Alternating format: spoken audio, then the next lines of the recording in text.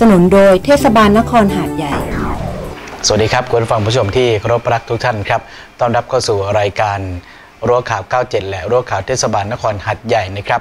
พบกับรายการนี้เป็นประจำทุกวันตั้งแต่วันจันทร์ถึงวันศุกร์ในช่วงเวลา 19 นาฬิกาโดยประมาณนะครับ พบกับผมทศครับทศพรแสงอรุณ และก็สามารถติดตามรายการนี้ในหลาย ๆ ช่องทางด้วยกันนะครับ ไม่ว่าจะเป็น FM 97 91.75 MHz และ 90.75 MHz ครับ คุณผู้ฟังผู้ชมครับ วันนี้ข่าวที่น่าติดตามมีดังต่อไปนี้นะครับ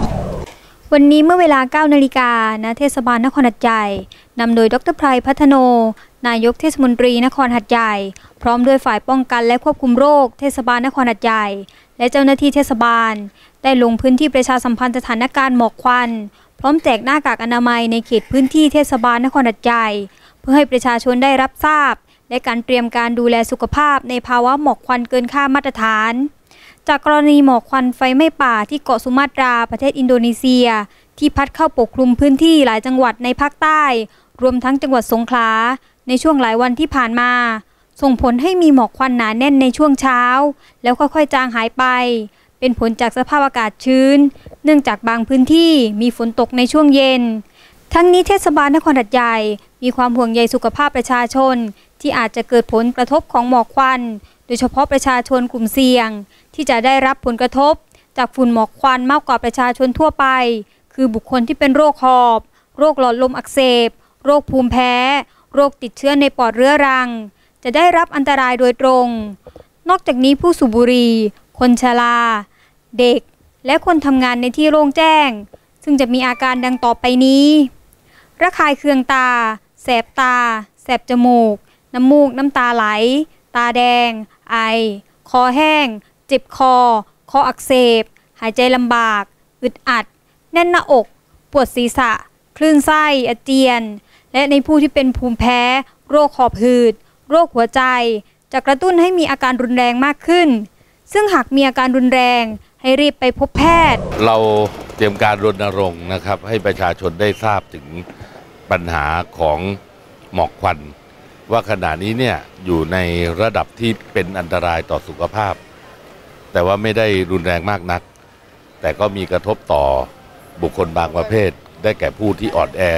หรือผู้ป่วยติดเตียงเด็ก หรืออคนที่มีปัญหา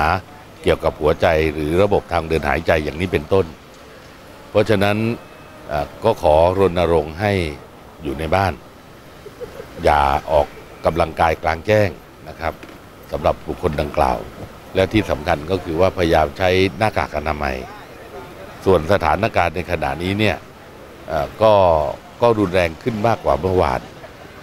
และเรากำลังเฝ้าระวังดูดูอยู่ว่าสถานการณ์จะพัฒนาไปถึงไหน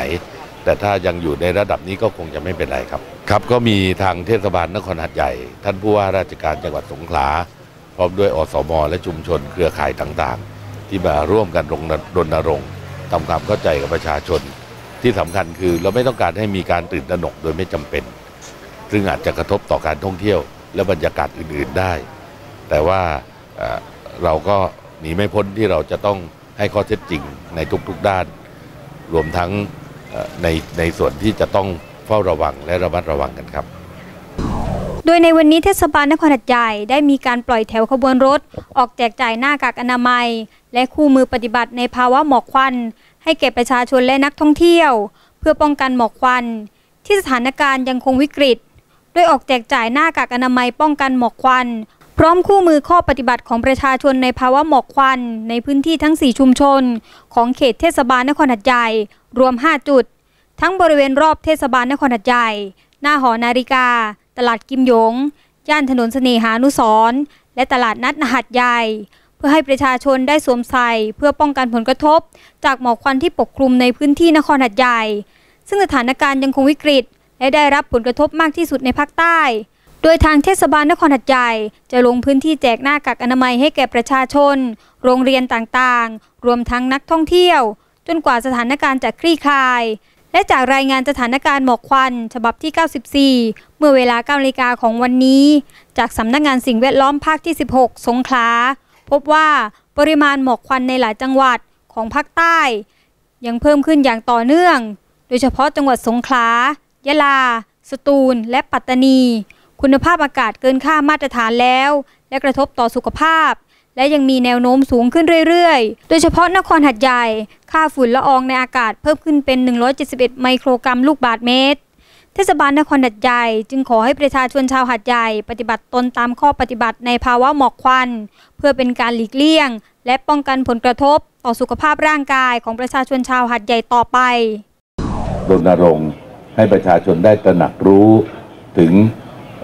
โทษภัยของอากาศที่เป็นพิษ เพราะหมอกควันจากประเทศอินโดนีเซียเนี่ยที่เกิดขึ้นหลายคนก็บอกว่าเมื่อไหร่จะจะหมดไปและแก้ปัญหายังไง เราแก้ไม่ได้ครับ ประเทศไทยแก้ไม่ได้ เพราะเป็นเรื่องระหว่างประเทศ เพียงแต่ว่าเราต้องป้องกันตัวเอง และในขณะนี้สถานการณ์ของหมอกควันนั้น อยู่ในเกณฑ์ที่เป็นอันตรายต่อสุขภาพนะครับ แต่ว่าไม่ได้ถึงกับเป็นอันตรายมากนัก แต่ถ้าเกิดว่าคนอ่อนแอคนที่มีอาการจากทางเดินระบบหายใจ หรือว่าหัวใจผู้ป่วยติดเตียง เด็กคนชราสตรีที่มีคันก็ไม่แนะนำให้ออกมาสูดอากาศข้างนอก โดยเฉพาะอย่างยิ่งคนที่มาออกกำลังกายข้างนอกเนี่ย อากาศอย่างนี้ไม่ควรจะออกกำลังกาย ควรจะอยู่บ้านมากกว่า หรือถ้าออกมาทำกิจกรรมข้างนอกก็สวมหน้ากากอนามัย เพื่อกรองสิ่งที่มากับอากาศ ซึ่งเป็นอนุภาคขนาดเล็กนะครับ ที่เรากลัวเนี่ยมันเราไม่ได้กลัวชิ้นใหญ่ ชิ้นที่ใหญ่เนี่ยในจมูกเราเนี่ยระบบทางเดินหายใจเราสามารถกรองได้ แต่ไอ้ที่เล็กจริง ๆ เนี่ยมันเข้าไปถึงปอดเลย ดังนั้นที่เขากลัวก็คืออนุภาคขนาดเล็กแบบนี้ครับเขาเรียกว่า PM10 คืออนุภาคที่เล็กกว่า 10 ไมครอน ถ้ามันมีมากเกินไปในอากาศก็จะเป็นอันตราย และตอนนี้ระดับค่าเนี่ยก็ค่อนข้างสูง เพราะฉะนั้นเราต้องเฝ้าระวังและก็ทำความเข้าใจว่าขณะนี้เริ่มเป็นอันตรายแล้วนะ แต่ไม่ได้เป็นอันตรายมากนัก ไม่ต้องถึงกับขนาดไม่ไม่กล้าทำอะไร เราก็ทำกิจกรรมได้ตามปกติแหละครับ แต่ว่าถ้าสุขภาพไม่ดีก็อยู่บ้าน ไปไหนมาไหนก็สวมหน้ากากอนามัย ทางเทศบาลนครหัดใหญ่ก็ได้รับหน้ากากอนามัยสมทบจากทางสงขลานครินส่วนหนึ่งด้วย และเราก็แจกตามชุมชนตามศูนย์บริการสาธารณสุข และเราก็มารณรงค์แจกเคลื่อนที่ตามชุมชนและในเขตเมืองด้วย เพราะฉะนั้นในวันนี้ท่านผู้ว่าราชการจังหวัดสงขลาท่านได้เรียกประชุมตั้งแต่ช่วงเช้าแล้วครับ และมอบนโยบายเพื่อ ให้ทุกฝ่ายได้ร่วมกันปฏิบัติ ส่วนท่านผู้ว่าราชการจังหวัดสงขลายังติดภารกิจอยู่ที่ด่านนอก ซึ่งท่านเดิมก็จะมา แต่ท่านมาไม่ทัน ก็ขอกราบประทานโทษด้วย และขอขอบคุณท่านรองสาธิตที่ได้มาแทน ท่านผู้ว่าราชการจังหวัด ซึ่งหัดใหญ่เราได้อสมได้อาสาสมัครอปพรใครต่อใครอสก็มีนะครับ มาร่วมกับพวกเราเพื่อรณรงค์ให้พี่น้องประชาชนได้รับทราบ และดูแลผู้ป่วยติดเตียง ก็ขอขอบพระคุณทุกๆทท่านที่มีส่วนร่วมในกิจกรรมนี้ ขอขอบคุณไปถึงพี่น้องสื่อมวลชนด้วย ที่ท่านให้ความสำคัญต่อปัญหาดังกล่าวนะครับ ขอขอบคุณครับ ผมเองในนามของเป็นผู้แทนของมาในสงขลานครินทร์นะครับ ก็มีความยินดีวันนี้ทราบว่าท่านผู้ว่าการจังหวัดทางเทศบาลได้มีการประชุมในเรื่องของเหตุฉุกเฉินนะครับในเรื่องของทางด้านวิกฤตการณ์ในเรื่องของหมอกควันที่มาจากอินโดนีเซียนะครับ ซึ่งเป็นเหตุการณ์ที่เกิดขึ้นมีความแปลกออกไป คือหลายปีก็เกิดเหตุการณ์อย่างนี้ แต่ว่าไม่เยอะตอนนี้ก็มีความถี่มาก แล้วก็เริ่มมีคนเจ็บไข้ได้ป่วยเยอะมากนะครับก็ได้รับการประสานจากทางเทศบาลกรหัดใหญ่ว่าวันนี้เนี่ยเรามาร่วมช่วยด้วยกันนะครับมาช่วยกันในเรื่องของจังหวัดสงขลาเราในการที่เป็นการช่วยกันเยียวยา ช่วยกันดูแล อันนี้มาในสงขลานักเรียนก็มีความยินดีเป็นอย่างยิ่งนะครับ วันนี้ผมก็ได้นำเอาน้องนักศึกษานะครับ มาร่วมกับทางจังหวัดทางด้านเทศบาลนะครับ เราคงต้องช่วยกันในการดูแล เพื่อทำให้จังหวัดสงขลานี้เป็นจังหวัดของเราทุกคน และก็เป็นจังหวัดที่น่าอยู่ด้วยนะครับครับขอขอบคุณครับ และนี่คือข่าวต่างๆนะครับในรายการรอบรั้วข่าว 97 และรอบรั้วข่าวเทศบาลนครหัดใหญ่ อย่าลืมนะครับ ติดตามข่าวต่างๆ ได้เป็นประจำทุกวันจันทร์ถึงศุกร์ในช่วงเวลาประมาณ 19นาฬิกาวันนี้หมดเวลาแล้วผมทศครับทศพรแสงอรุณลาไปก่อน พบกันใหม่ในวันพรุ่งนี้เวลาเดิม วันนี้สวัสดีครับ